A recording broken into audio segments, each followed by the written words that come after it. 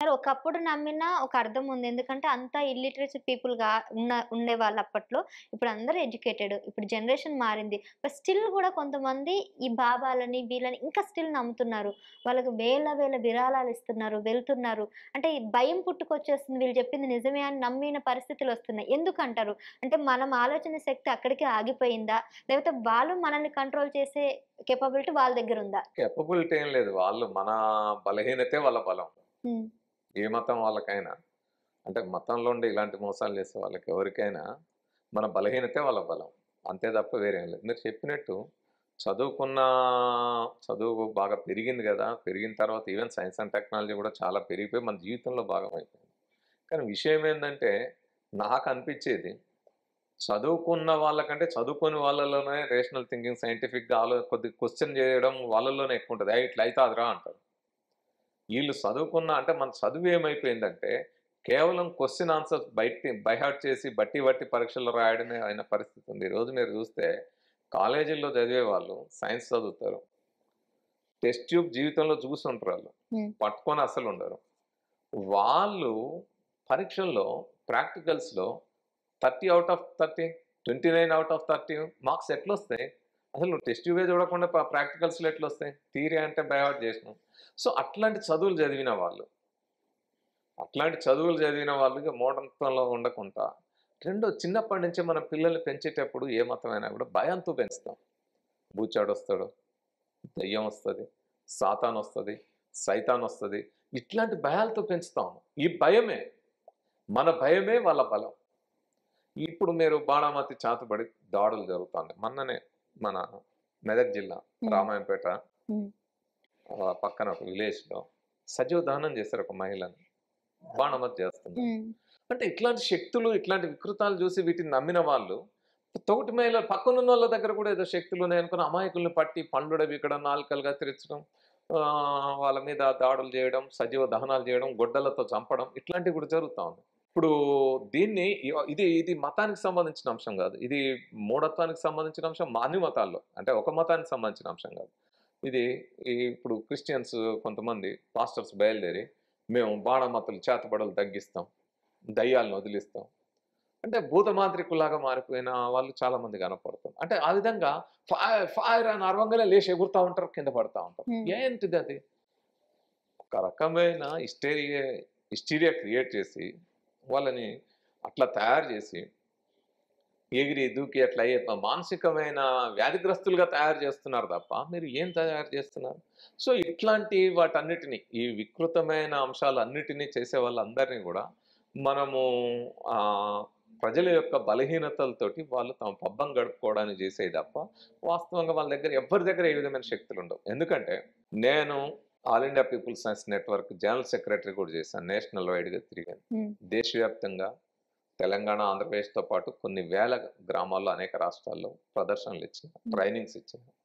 నేను అనేక ప్రదర్శనలో ఒక ఛాలెంజ్ చేస్తా. హ్మ్. ఎవరైనా సరే బాణామతి చేతబడి చేయగలిగిన వాళ్ళున్నా, మంత్రాలు చేయగలిగిన వాళ్ళున్నా, ఏ శక్తుల్ని ప్రదర్శ ఏ శక్తుల్ని మీ సాతానా, సైతానా ఇంకే శక్తిని ప్రద ప్రయోగించే వాళ్ళున్నా నా మీద చేయండి ఛాలెంజ్. ఇప్పుడు ఛాలెంజ్ చేస్తున్నా. చెయ్యండి ఎవరైనా ఉంటే. ఇప్పుడు మీరేదో అన్నారు ఇంతకుముందు ఒకాయన. హ్మ్. ఏదో పేరు చెప్పారు కదా! చెయ్యి లేస్తే లేవదని అన్నాడు. రౌడీ రాకేష్ అని ఒక బాబా ఒక ఆయన ఉన్నాడు. ఆయన కళ్ళ ముందే కొన్ని నేను మిమ్మల్ని కంట్రోల్ చేసుకోగలను అది ఇది అనేసి నన్ను. చేయమనండి. నేను నేను ఛాలెంజ్ దాదాపు 3:30 దశాబ్దాల నుంచి నేను ఈ ఛాలెంజ్ చేస్తున్నా ప్రతి ఒక్కరిని. నన్ను కంట్రోల్ చేసుకోండి.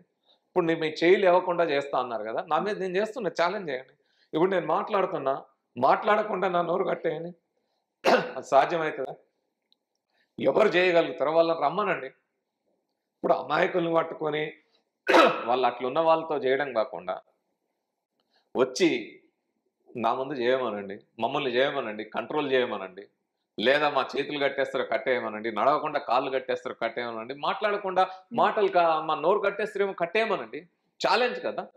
నేను ఓపెన్. ఓపెన్ లైవ్‌లో ఛాలెంజ్ చేస్తున్నా. వచ్చి వాళ్ళని చేయమనండి ఎవరినైనా ఓపెన్ ఛాలెంజ్. సార్ ఏదో ఎవరైనా సరే. మీరు ఏ శక్తులైనా ప్రయోగించదలుచుకుంటే ప్రయోగించండి. అట్లా అది సాధ్యమే కాదు.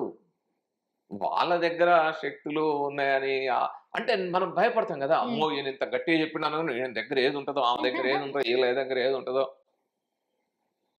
ఎవరినైనా మనం అట్లా ఛాలెంజ్ చేయొచ్చు నా మీద ప్రయోగిస్తారా చెయ్యండి ఇప్పుడు ఆయన ఒక ఆయన అంటాడు నేను ఏంటది ఆయిల్ సుక్కలు వేస్తే క్యాన్సర్ తగ్గుతుంది.